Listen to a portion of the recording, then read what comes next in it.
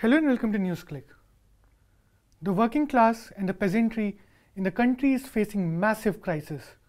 In the last four years of Modi regime, there have been various anti-farmer, anti-labor policies that have caused destruction for the working class and the peasantry. In coming one or two months, the country is going to witness two major protests. One is on 9th August, which is on call of All India Kisan Sabha. The call is for jail bharo at all the district headquarters. Then the another protest is at 5th on 5th of September in Delhi at Parliament Street. The 5th September rally has been jointly called by the peasant and the labor organizations, primarily AIKS and CITU. To discuss about these movements, we are joined by Ashok Dhawale, who is president of All India Kisan Sabha. Welcome to NewsClick, sir. Hello. So, as we all know, we have witnessed Kisan launch in Maharashtra, and now the jail bharo call of 9th August, which is, I think, All India call.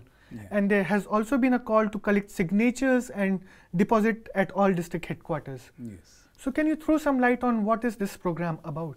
Yeah. Uh, you know, now uh, the actual stark reality in the country today is that the last four years of the Modi government, of the BJP RSS, have shown one thing beyond any doubt, and that is that this government is by far the most anti farmer, anti worker, anti people, pro corporate, and communal government that independent India has ever seen in the last 70 years. As you correctly said, the farmers, agricultural workers, and the working class are bearing the brunt of this uh, policies of this government, the neoliberal policies, which have been continuing for the last now nearly 30 years. But they have been speeded up tremendously under the aegis of this government. And therefore, the All India Kisan Sabha decided uh, many months ago that the time has come to really, you know, attack these policies tooth and nail. Uh, as you said, the huge uh, farmer struggles in Rajasthan, in Maharashtra, Karnataka, Himachal, and other places. Uh, after that, we decided that some all India movement is the need of the hour.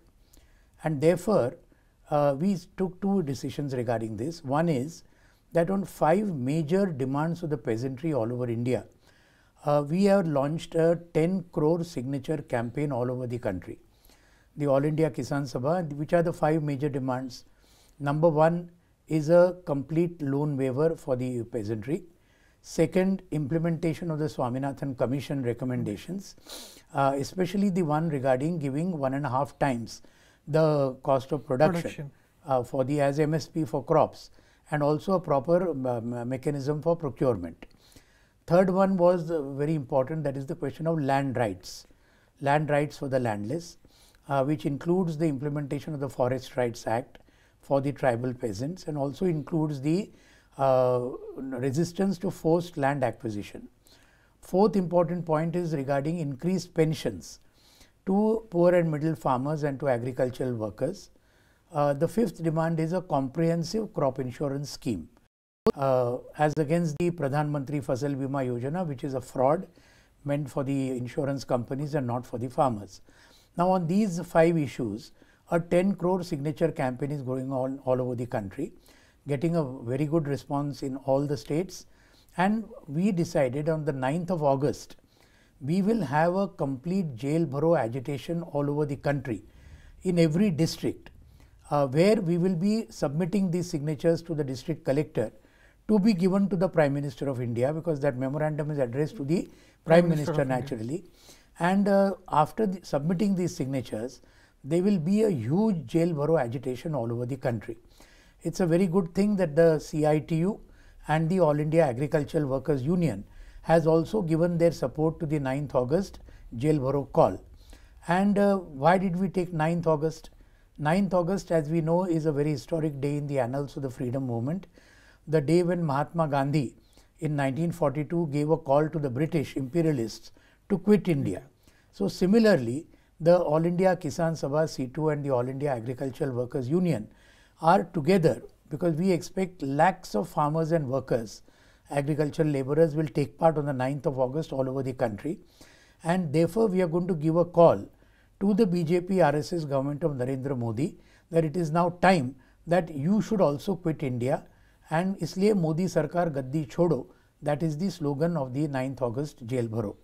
I think it will be a massive uh, sort of this thing a call and the response.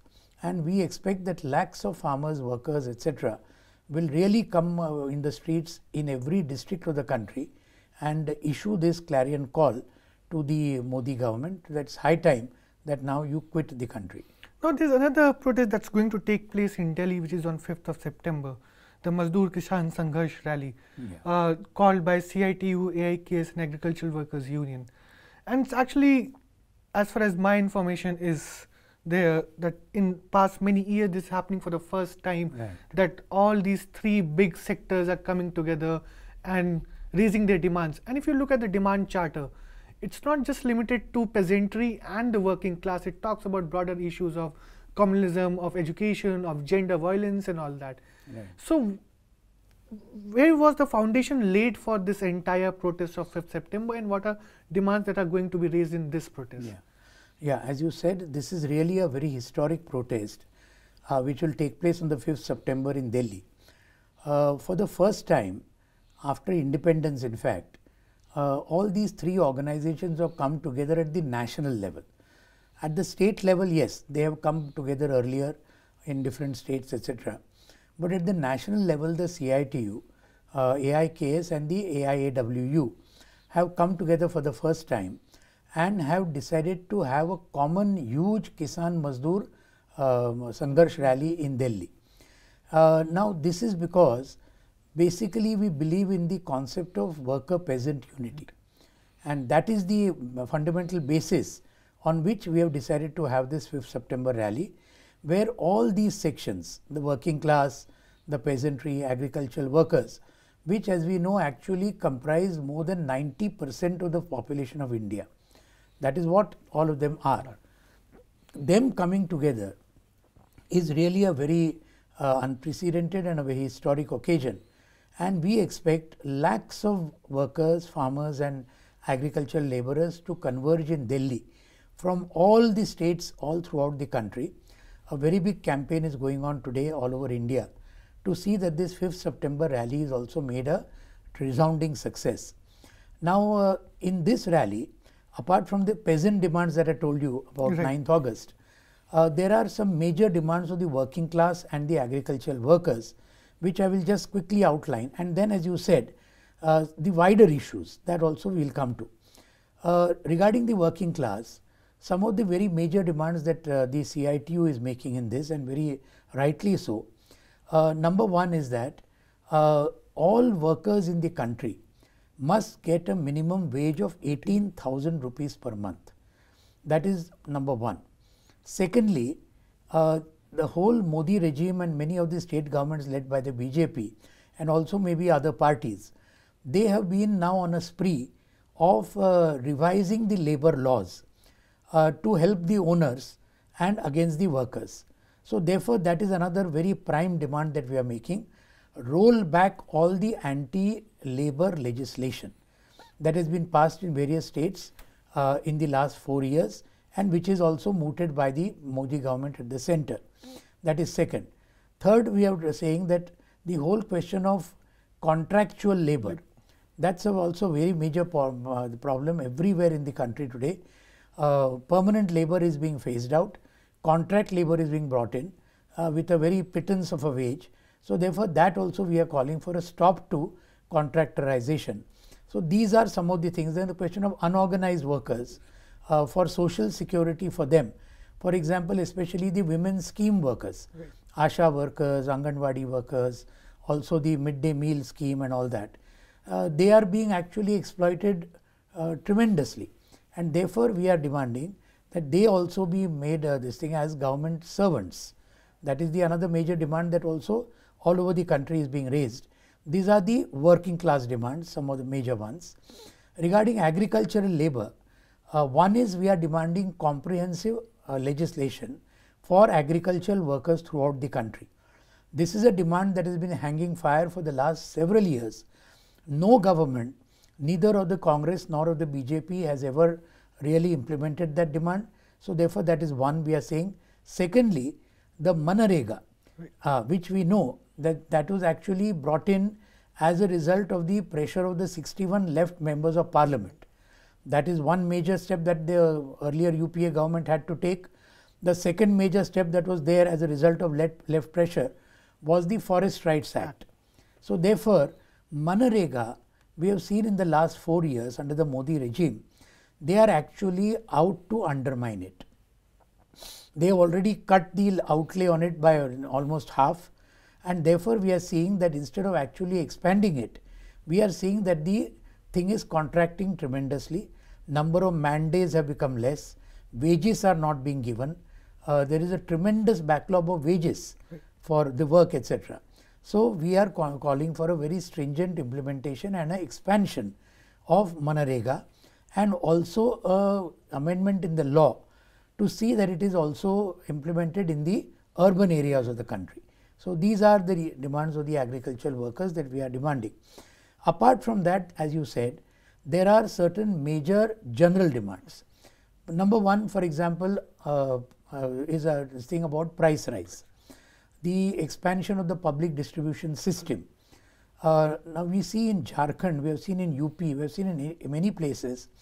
In fact, in many of the uh, districts in the country, especially which are uh, tribal majority or we have a large proportion of Dalits, we have a situation like the farmer suicides, right.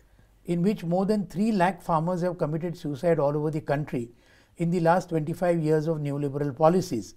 Similarly, another very uh, shocking thing is that lakhs of small children, boys and girls, have actually died due to starvation and malnutrition in India. This happens in Odisha, Jharkhand, Maharashtra, Chhattisgarh, Madhya Pradesh, so many states uh, where this has happened. We have seen women now also dying because of starvation in Jharkhand, UP, etc. Cases have come up. This is because of the breakdown of the public distribution system the uh, attachment of Aadhaar and all these other things, biometric, all these things have played a part. And therefore, this is also a very major thing that is happening. Now, this public distribution system is another one major thing that we are uh, concentrating on as part of the demands. Another thing we are also saying redistributive land reforms should also be there because unless land reforms really come into play and are implemented, as was implemented by the left-led governments of Kerala. They are now even being West Bengal and Tripura. But all over the country, nothing else has been done beyond these three states. So that is also one very uh, fundamental demand that we are also raising. Another thing is regarding the whole question of education, health and employment for all sections of the people. Uh, we see today the Maratha agitation reservation we are seeing. We saw the Patel agitation in Gujarat. Gujarat. We saw the Jat agitation in Haryana, Rajasthan, etc. Why are these things actually occurring? They are the root cause of it is one, the agrarian crisis, second, the soaring unemployment, third, the attacks on education and its privatization. So, therefore, unless these policies are actually rolled back, uh, these agitations are going to ferment even more. And therefore, uh, a very sea change is required, radical change in the policies regarding education, employment and health is the need of the hour. Uh, one more very fundamental thing that is a bedrock, I would say, of both the 9th August and the 5th September agitations is the uh, very tremendous fight that we are all launching and is waging against the communal monster. And that is actually one of the most uh, serious things that is happening in the country today we are seeing every day mob lynching, every day practically in different parts of the country. And uh, we saw the Supreme Court also intervening and saying that what is this going on? They asked for a law within a month, but nothing the Modi government has done. And all over communal riots, communal incidents are being engineered uh, so that religion and caste are being tried to be, you know, put this thing to be able to get a electoral majority.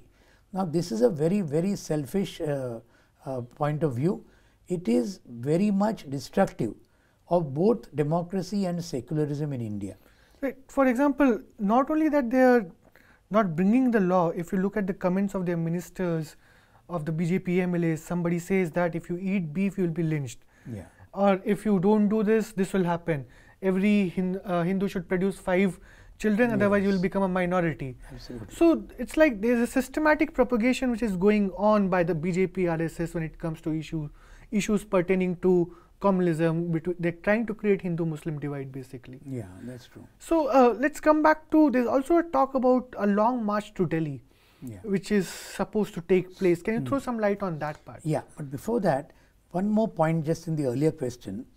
See, one is the communal divide between Hindus and Muslims. Second section which they are targeting very badly is also the Dalits.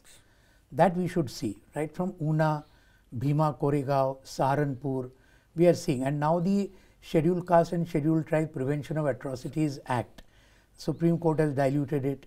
The Modi government has not brought in anything, you know, to strengthen it again. No legislation, no ordinance, nothing. So this is also a very, very major point that we are taking up in the 9th August and the 5th September actions. Now regarding the November long march of the uh, this thing to Parliament, see the idea behind this is uh, all sections of society are actually at the receiving end of the Modi regime may except the corporates, except the multinationals. See, they have targeted everybody. They have targeted the working class, the peasantry, agricultural workers, Dalits, Adivasis, Muslims, and also the large section of Hindus who are of the uh, no- no- normal, common people. All of them they have been targeting. The only ones that they are helping is the corporate lobby and the multinational lobby, the imperialist lobby in the country. Therefore, what we thought was that a very, very important thing should be a much more broad kind of mobilization, which will, of course, include a large number of farmers, workers, agricultural workers, etc. But it will also attract a large section of the students, youth, the middle class, which is also actually at the receiving end of all these policies. And therefore, the idea was that in the month of November, from 10 directions in Delhi, we want to start a kind of a long march for three days. And that will be a long march to Delhi. Uh, from all the 10 roads that come into Delhi, right, from uh, different parts of the country, people will walk for about 100 150 kilometers. We are planning tentatively to start it on the 28th of November, which uh, is the death anniversary of Mahatma Jyotirao Phule, who was not only a very great social reformer against caste, etc., but he was one of the first champions of the peasantry of India. He wrote a book which was called The Whipcord of the Peasant. Peasant. You know, so therefore 28th November and the march will culminate in Delhi on the 30th of November. That is the tentative program now. Depends on the election schedule and etc. of Rajasthan, Madhya Pradesh. Let us see what happens there. But in that, all these sections which are talked about, including the middle class sections, etc., we are planning teachers, doctors, lawyers, engineers, all of them in support of the peasantry and the workers. That's what we want to mobilize, and students and youth in very large numbers, women in very large numbers, that also we would like to mobilize. Now, in this, we are going to make one major demand, and that is for a three week special session of parliament to discuss only the agrarian crisis, which is actually the foremost national problem in India today. And therefore, uh, this is a kind of a thing that we have in mind. Uh, this will, of course, be a very, very broad coalition. It will not be only the Kisan Sabha or only the CITU or only the Agricultural Workers Union. Already, the All India Kisan Sangharsh Samanvay Samiti, which is a uh, body of more than 190 uh, farmers organizations, has supported this idea. Uh, Bhumi Adhikar Andolan, we are going to appeal to it. The JEJA, Jana Ekta Jan Janadhikar Adhikar Andolan, we will appeal to that also to join in in this thing. So therefore, many other Dalit organizations, now ex-servicemen have also come in a big way in the 9th August thing, etc. So all of them we are trying to get together. This will be a very huge mobilization and a very broad mobilization which we are trying to get together. So, as far as uh, All India Democratic Women's Association is concerned, AIDWA has also extended to the uh, extended support to the 5th September call, and they're themselves having a massive agitation on 4th of September Yeah. on different issues. So, how do you feel about that? Yes, the All India Democratic Women's Association uh, has been continuously fighting all over the country on three major issues. Number one is, of course, the uh, unspeakable atrocities against women, which are increasing all over the country and especially so in the last four years of the Modi government. We saw Kathua, we saw Unnao, we saw many other places, Jharkhand. And therefore, the AIDWA has decided on the 4th of September, a huge rally of thousands of women will be brought to Delhi from all over the country and they will have this rally before Parliament Street on three major issues. Number one, the maximum, the growing atrocities against women. Number two is the question of hunger and the public distribution system breakdown, which I, we just talked about now. And thirdly, on the question of women's unemployment. And the AIDWA has also given a call to all these women to stay back one more day to take part in the Mazdoor Kisan Sangharsh rally on the 5th of September. So, if we summarize everything, it looks like that there is going to be a massive agitation path that's going to be taken by various movements, and I think struggle is the only way forward, right? Yes, yes, that's true. So that's the point where we would true. like to leave this discussion, yeah. Uh, sir, and we'll be covering these movements extensively as like we have always covered. Yeah. Thanks a lot for giving Yeah, your time. Thanks a lot. We had Ashok Dhawale, President of All India Kisan Sabha, explaining about these different movements and their demands. Keep following NewsClick to know more about these movements, protests, and their regular coverage.